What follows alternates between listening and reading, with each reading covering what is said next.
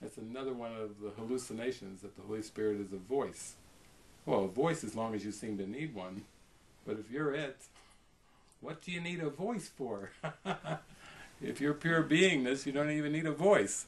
So you see how it's all just metaphors and constructs to gently guide the mind to a place where, you know, you can let it go. And of course, in the happy dream, words are but symbols of symbols. You know, I I love it. People always talk about different semantics and no, no, no, it's this and this. Who cares? I, who cares about the words? You know, we have so much love and joy to share you know, people can say, well, I believe God is, you know, he lives in a pink pyramid and, you know, he has antennas. And, oh, come here. That's beautiful. you know, or I, believe in God. There is no God. There is no God. There is no deity. To, oh, yeah, yeah, come on, come here.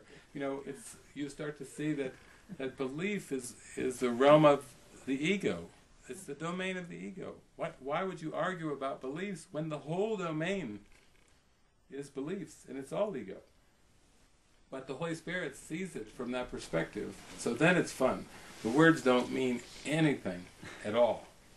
You know, I believe if you stand on your head for 10 minutes, you can achieve enlightenment. Oh, come on here. Uh, or the commercial ones. If you come and do my seminar for one week, for $10,000. I will guarantee you enlightenment. Ah, oh, that's good. Come on. Come here. You know, it doesn't matter. it doesn't matter. I taught a class in psychology one time, and, and I did this paper at the end where I told the students to put out all your beliefs and, and just share all your insights and experiences of life. And they, they poured out everything. One of them said, I, I really am drawn, I resonate with Satanism. And so they, they wrote you know, the paper on Satanism and everything, and there's some cool, cool things in there. I was like, ooh. You know, he said, he said, I think we should take responsibility for our feelings in this Satanism paper. I'm like, oh, right on. You know, it's like you can find it everywhere. So they want to call it Satanism. Okay, it's just a word. It's just words. You know, words. That, you know, don't let the words get in the way, no matter what they are. So this is the final characteristic of a teacher of God. Open-mindedness. Why do you think it's number 10? It's it's so spectacular because it's got it's so open that it doesn't see an opposite. You know, there's nothing someone could say to you where you have to contest them. say, well, no, what I believe, you don't have to. Why get into that stuff? You know, I have fun. Temple Square. It's interesting to me that that all this world traveling and everything, that I would have a monastery here in Utah, uh, you know, which such devotion. That's one thing we've noticed about a lot of the Mormon people that we've met is they're very devotion, devotional, devoted, and a lot of them that we've met that have come out here to the edge over the years have kind of like, you know, they used to make the jokes about the recovering Catholics. They were kind of like recovering Mormons.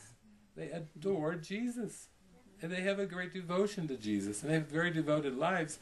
And then they come out here and they go, aha this is uh, this is a Jesus I can really get to know now. We say, yeah.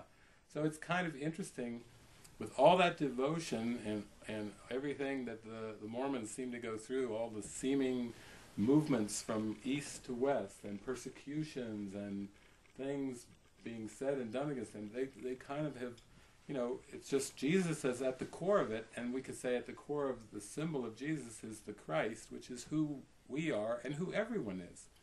You know, call it Buddha, call it Christ, call it Atman, you know, call it capital self, call it one, call it whatever you want. Who cares?